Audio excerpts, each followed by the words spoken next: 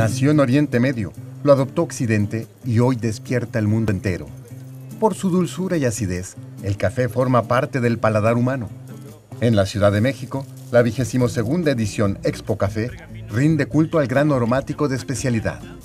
Con lo mejor de la producción de México, se vive una gran experiencia en el World Trade Center.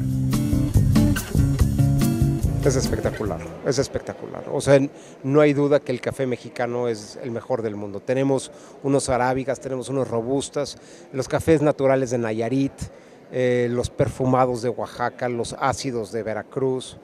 Realmente hay personas que juegan mucho con esas combinaciones. Hay algunas fincas que han guardado sus plantas que son plantas pues de, muchos años, estamos hablando de plantas, el, el, café que se producía hace 20, 30 años es muy diferente al que se produce ahorita.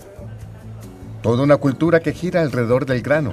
Del 29 al 31 de agosto, Expo Café congrega 230 expositores que conforman la larga cadena de producción del aromático. Los concursos de baristas dan a conocer las tendencias para alcanzar las distintas notas de sabores del café de especialidad. Busco el, encontrar el punto exacto en el que a mí el café me gusta para poderlo dárselos a mis comensales.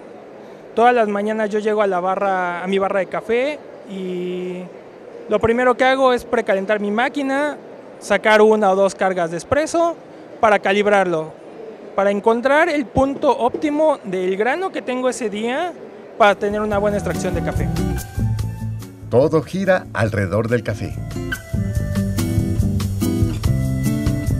En torno del café está la muerte, está la vida, están las fiestas, están las crudas. ¿Qué no hay en torno del café? El café está en los libros, está en una lunada, está en un día soleado o está en un día con frío.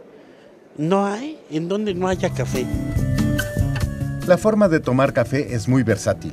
Un mismo grano puede proveer distintos sabores dependiendo del método de preparación. Y servir una taza del brebaje más famoso del mundo puede ser todo un arte.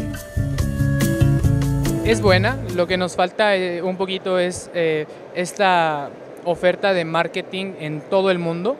Hay muchos certámenes, como viste, y ahorita preparé un café como uno también de los mejores del mundo en el 2018 y esto nadie lo conoce o nadie lo sabe. La caficultura ha crecido en México y su calidad también. Expo Café difunde los avances de la industria a unos 33 mil visitantes del país, de Centroamérica y de Estados Unidos en especial. Tradición e innovación, sabor y calidad emergen de una taza de café. Con información de la oficina en la Ciudad de México, Noticias Xinhua.